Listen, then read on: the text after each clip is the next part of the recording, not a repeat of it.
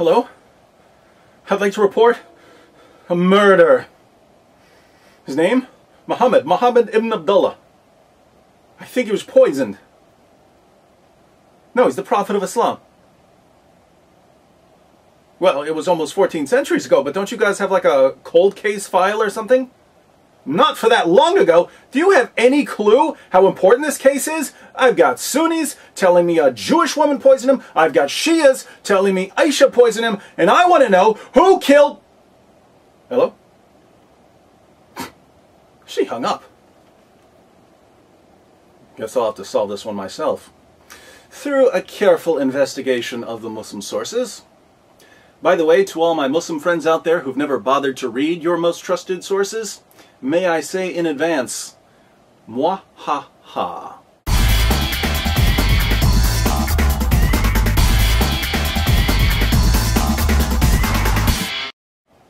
Okay, I've been through the Quran, the Hadith, and the Sirah literature, and I think I've solved the mystery of Muhammad's death. It's actually pretty straightforward. The Muslim sources tell us that Muhammad was poisoned. All we have to do is take everything we know about how Muhammad was killed and ask ourselves, who would have killed him in that particular way? Police do this sort of thing every day. They match up a bullet with the gun that fired the bullet. They match up fingerprints with the finger who left the fingerprints. They match up details of a crime with a criminal who has a certain MO. So to figure out who killed Muhammad, we just need to do a little profiling. But the fact remains you can't prove that I did it. It could have been anybody. It could only be you. By your own admission. The main difficulty we face is that lots of people wanted to kill Muhammad. The pagans wanted to kill him for conquering their cities, smashing their idols, slaughtering their men, raping their women, and enslaving their children. Jews wanted to kill him for seizing their land, destroying their communities, slaughtering their men, raping their women, and enslaving their children. Christians wanted to kill him for threatening to conquer them. Men wanted to kill him, women wanted to kill him, old people wanted to kill him, young people wanted to kill him. Muhammad made a lot of enemies. What's the matter, Rodney? I don't get no respect at all. Fortunately, we can narrow down our list of suspects by ruling out people who would have killed Muhammad in some way other than poisoning. Certain killers like to strangle their victims. They're not going to use poison. Some people prefer knives. Some people set fires. Some people push their victims off cliffs. Colonel Mustard wouldn't poison anybody. He'd use a lead pipe in the ballroom. Interestingly, the Quran tells us how Allah would have killed Muhammad. We find Allah's MO, his preferred method of executing prophets, in Surah 69, verses 44 through 46. According to the Quran, if Muhammad were to invent a false revelation, if he were to make up verses of the Quran, Allah would kill him by severing his aorta. The aorta is the large artery that comes out of the left ventricle of your heart. Some Muslim sources call it the life artery. Let's look at four translations of verses 44 through 46, along with a commentary, so we can get a clear idea of what the passage is saying. The Hilali Khan translation reads, And if he, Muhammad, had forged a false saying concerning us, we surely should have seized him by his right hand, or with power and might, and then certainly should have cut off his life artery. And in parentheses, the translators add, aorta. The Pickthall translation declares, And if he had invented false sayings concerning us, we assuredly had taken him by the right hand and then severed his life artery. Dawood's translation reads, Had he invented lies concerning us, we would have seized him by the right hand and severed his heart's vein. M.H. Shakir renders these verses, And if he had fabricated against us some of the sayings, we would certainly have seized him by the right hand, then we would certainly have cut off his aorta. Just so we're clear on the meaning, and no one accuses me of misrepresenting the passage, let me read one of the greatest Muslim commentaries on these verses. This is Tafsir Jalalain. And had he, namely the Prophet, fabricated any lies against us by communicating from us that which we have not said, we would have assuredly seized him. We would have exacted vengeance against him as punishment by the right hand, by our strength and power. Then we would have assuredly severed his life artery, the aorta of the heart, a vein that connects with it and which, if severed, results in that person's death. So if Muhammad had been a false prophet and a liar and a deceiver, we know how Allah would have killed him. Allah would have cut his aorta. As long as no one severs Muhammad's aorta, then we can rule out Allah as a suspect. I didn't do it. Just because the blood was in my hand doesn't mean I stabbed the man. Now that we've got our strategy, let's turn to the Muslim sources so we can put together our profile. According to Sahih al-Bukhari, Sahih Muslim, and other texts, Muhammad was poisoned by a Jewish woman. Sahih al-Bukhari 26:17. A Jewess brought a poisoned cooked sheep for the prophet who ate from it. She was brought to the prophet and was asked, "Shall we kill her?" He said, "No." Anas added, "I continued to see the effect of the poison on the palate of the mouth of Allah's messenger." People could see the effect of the poison in Muhammad's mouth. The poison apparently disfigured his palate, making his mouth look strange. Sahih Muslim 54:30 A Jewess came to Allah's messenger with poisoned mutton, and he took of what had been brought to him. When the effects of this poison were felt by him, he called for her and asked her about that. Whereupon she said, I had determined to kill you. Thereupon he said, Allah will never give you the power to do it. Muhammad tells this woman, Allah will never allow you to kill me. Guess Muhammad didn't know Allah very well, because the poison ultimately did kill him. In case you're wondering why this woman wanted to poison Muhammad, she tells us in Ibn Sa'd. The apostle of Allah sent for Zainab bint al-Harith, that's the woman who poisoned him, and said to her, What induced you to do what you have done? She replied, You have done to my people what you have done. You have killed my father, my uncle, and my husband, so I said to myself, If you are a prophet, the foreleg will inform you. And others have said, If you are a king, we will get rid of you. The woman poisoned Muhammad because he slaughtered her family. Guess Louis Farrakhan got something right. But as a man soweth, the same shall he also reap. And that's why Jesus told Peter, sheathe your sword, because those who live by the sword will die by it. But there's a plot twist here, my friends. You see, Zainab didn't act alone. She had a co-conspirator, someone working behind the scenes, pulling the strings. Sahih Bukhari 4428.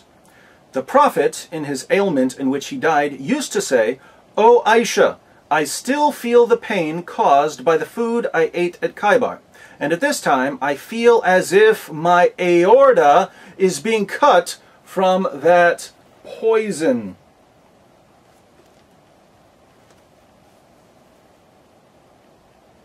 What's that, Muhammad? Something about your aorta being cut? That's funny. I seem to recall someone telling us that if he were going to kill you for being a false prophet, he'd do it by severing your aorta. But let's keep reading. Sunan Abu Dawud 4498. A Jewess presented Muhammad at Khaybar a roasted sheep which she had poisoned. The apostle of Allah ate of it, and the people also ate. He then said, Lift your hands from eating, for it has informed me that it is poisoned. Bishr bin al-Bara bin Marur al-Ansari died. So he, the prophet, sent for the Jewess and said to her, What motivated you to do the work you have done? She said, If you were a prophet, it would not harm you. But if you were a king, I would rid the people of you. The apostle of Allah then ordered regarding her, and she was killed. He then said about the pain of which he died, I continued to feel pain from the morsel which I had eaten at Khaybar. This is the time when it has cut off my aorta. This is the time when it has cut off my aorta.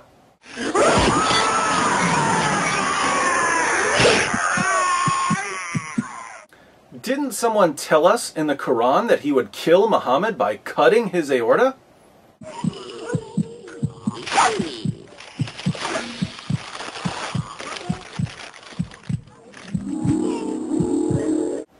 Notice the passage says that Muhammad's companion Bishr died from eating the poison. Interestingly, before Bishr died, he told Muhammad that as soon as he put the lamb in his mouth, he could taste the poison. But he ate it anyway because he saw Muhammad eating it. In Ibn Sa'd we read, The Apostle of Allah took the foreleg, a piece of which he put into his mouth. Bishr ibn al-Bara took another bone and put it into his mouth.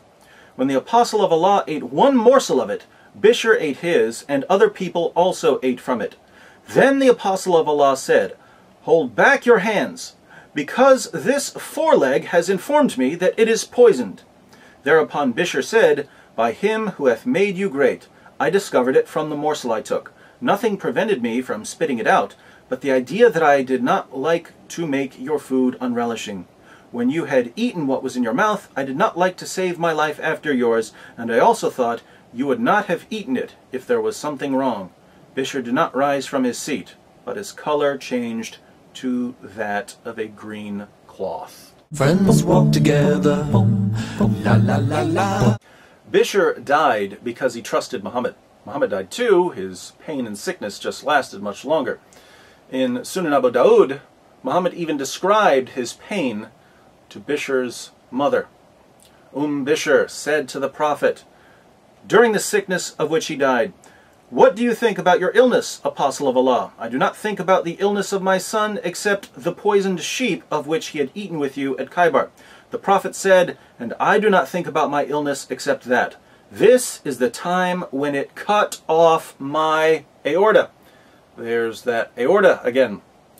Uh, Tabari, page 124, the messenger of God said during the illness from which he died, the mother of Bishr bin al-Bara had come to visit him. Umm Bishr, at this very moment I feel my aorta being severed because of the food I ate with your son at Khaybar.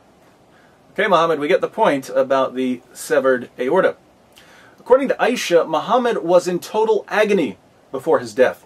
Sunan ibn Majah, 1622, Aisha said, I never saw anyone suffer more pain than the messenger of Allah.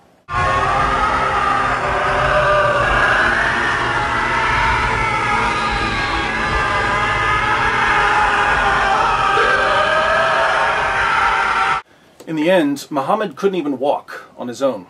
His followers had to drag him around. Sahih al-Bukhari 2588, Aisha said, When the Prophet became sick and his condition became serious, he requested his wives to allow him to be treated in my house, and they allowed him. He came out leaning on two men while his feet were dragging on the ground.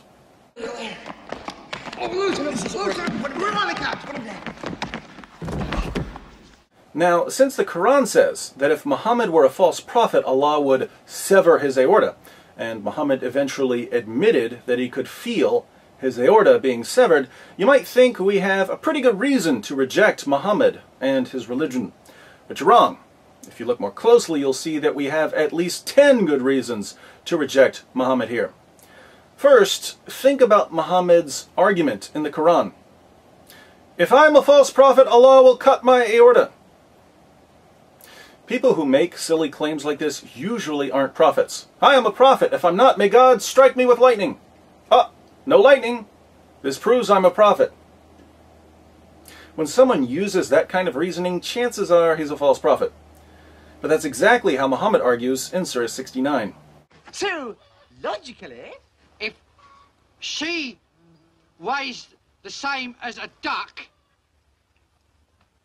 she's made of wood. Second, even though these God will strike me down claims are usually enough to spot a false prophet, I believe that God sometimes makes things even more clear and obvious for us. If someone's running around saying, I'm a prophet, God didn't strike me down, God might ignore him, but in some cases God might decide to thoroughly disgrace and humiliate him.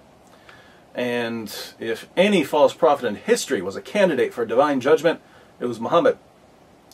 Now, Surah 69 was a Meccan surah, meaning that Muhammad was reciting this to his followers for years. He spent years telling his companions, if I'm a false prophet, God's going to sever my aorta. My friends, there are thousands of ways to die. Do you really think it's a coincidence that Muhammad died in exactly the way the Quran said he would die if he's a deceiver and a false prophet? Looks like divine judgment to me. Third, I don't want to call Muhammad stupid because that wouldn't be politically correct. But let's think about this for a moment. Muhammad and his followers attack Khaybar. After the Muslims kill a bunch of men and rape a bunch of women, standard practice for Muslims back then, a Jewish woman comes up to Muhammad. The Muslims had slaughtered her family, and she offers to cook dinner for Muhammad and his band of merry men. And Muhammad accepts her offer. Sure, I love lamb. So nice of you to cook dinner for us after we butchered your father and your husband. Look, if Muhammad doesn't have enough common sense to realize he probably shouldn't eat that lamb, why should we trust anything that comes out of his mouth? If a woman comes up to you and says, Hi, you slaughtered my family. Care for a delicious meal? And the only response you can think of is, Duh, yeah, I, I think so. Sorry, you're not a real prophet. Fourth, despite the fact that Muslims had slaughtered her family, the Jewish woman Zainab was actually open to the possibility that Muhammad was a prophet. She gave him the poison as a test. If he were a true prophet, he wouldn't eat it. If he were a false prophet, he'd die. Since Muhammad died from the poisoning, he failed Zainab's test. Fifth, Muhammad's companion Bishr could taste the poison as soon as he put the lamb in his mouth. Why did he keep eating? He kept eating because he believed in Muhammad. There's no way this lamb is poisoned. Muhammad is eating it. He's the prophet. Bishr's faith in Muhammad got him killed. And I'm willing to lay this down as a rule. If I can't trust you with my dinner, I definitely can't trust you with my salvation. If you can't figure out what's waiting for you in food, how could you possibly know what's waiting for you in the afterlife? Ignorance is bliss. Sixth, when Zainab told Muhammad that she had poisoned him, Muhammad said that Allah would never allow it. But Allah did allow it. So if Muhammad was wrong about Allah then, please explain to me why I should trust him when he tells me other things about Allah. Seventh, Muhammad claimed that the lamb he was eating spoke to him and told him that it was poisoned. So he got a special revelation because he was a prophet. Two questions. One, why didn't the roasted lamb say something five minutes earlier, which would have saved Muhammad's life, not to mention Bishr's life? And two, why did Muhammad need a revelation when you could taste the poison? Isn't this proof that Muhammad was actually making up revelations? Isn't it obvious that he tasted the poison, same as Bishr, but instead of saying, hey, I taste poison, he said, it's speaking to me, I'm a prophet. Sounds like a fake to me. Eighth, think about the justice here. The justice is just a little too poetic. This can't be a coincidence. Muhammad did more than anyone else in history to provoke hatred against Jews. Muhammad did more than anyone else in history to oppress women. Muhammad told his followers that women are stupid.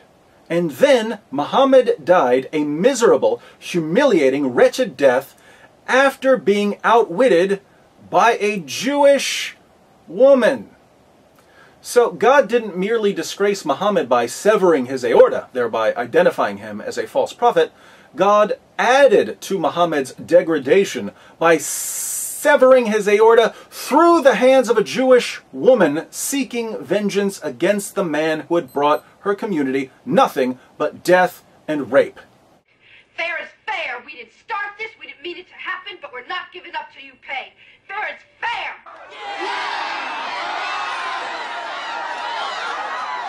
Ninth, according to the Quran, when the Jews tried to kill Jesus, Allah intervened and rescued him. This is Surah 4, 157 to 158. Allah took Jesus safely to paradise. He wouldn't give anyone the victory over Jesus. But when a group of Jews wanted to kill Muhammad, what happened? Allah sits back and watches as a woman poisons his prophet, and he does nothing as his prophet dies a humiliating death. Why does Allah protect Jesus from harm, zips him straight to paradise? Then when he turns around and sees Muhammad wallowing in freakish misery, Allah doesn't lift a finger to help him. Sounds like Allah was showing a little favoritism.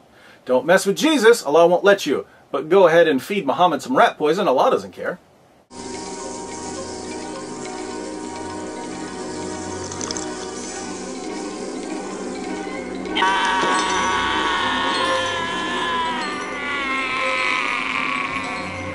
Finally, Muhammad's greatest wish was to die in battle.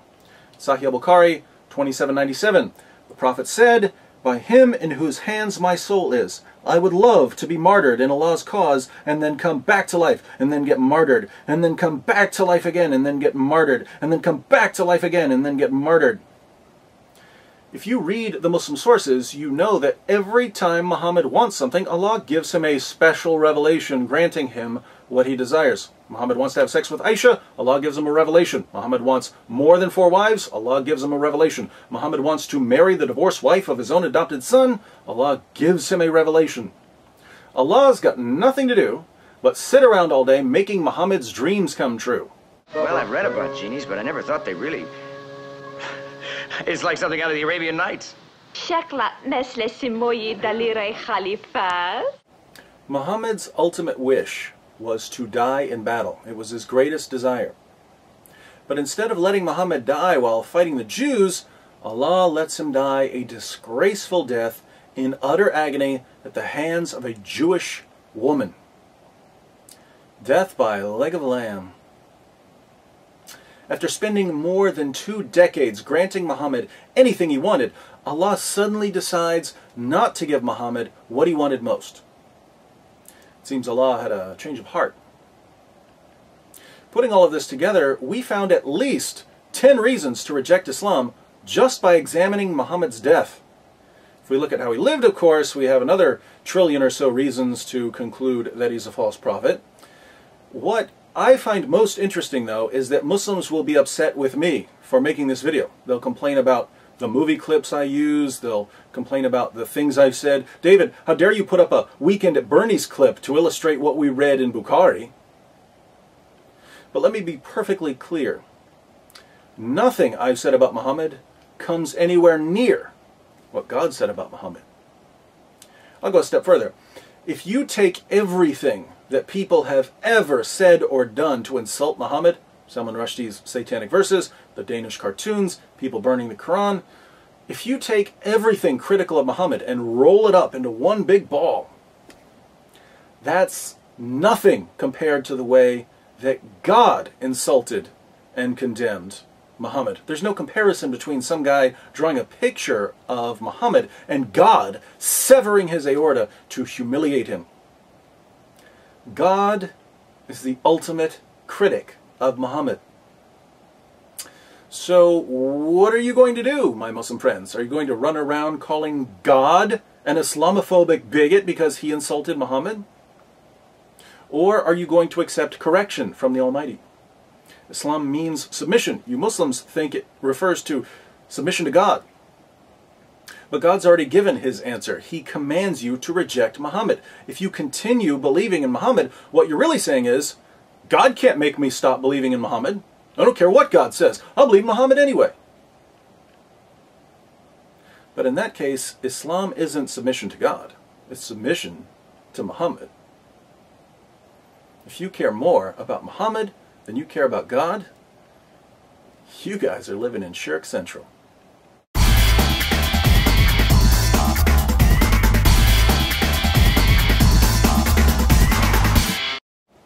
That's right. I solved the cold case. So put that in your file. No, I just want to hear you say it. Columbo ain't got nothing on me.